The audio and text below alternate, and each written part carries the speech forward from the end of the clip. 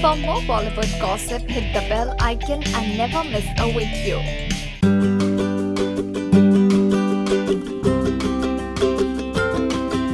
Salman and Katrina would be doing yet another flick together. Isn't that great news? For here is the question just boiling up, and here we have the two in quick action in yet another flick.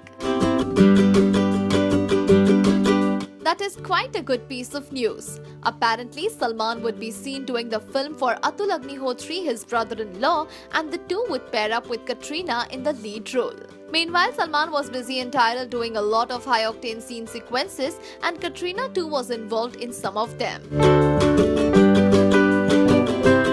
As we told you, Salman would be then headed to Maldives for his nephew's birthday, after which he would shoot in Mumbai again for Tiger Zinda Hai.